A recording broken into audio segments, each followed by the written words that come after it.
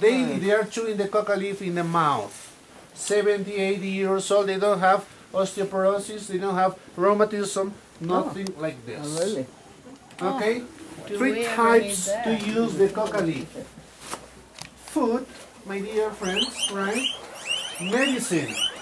All the penicillin contain coca leaf. All the penicillins contain coca leaf, right? This is better for the anesthesia, the coca leaf. And we use in a religious area.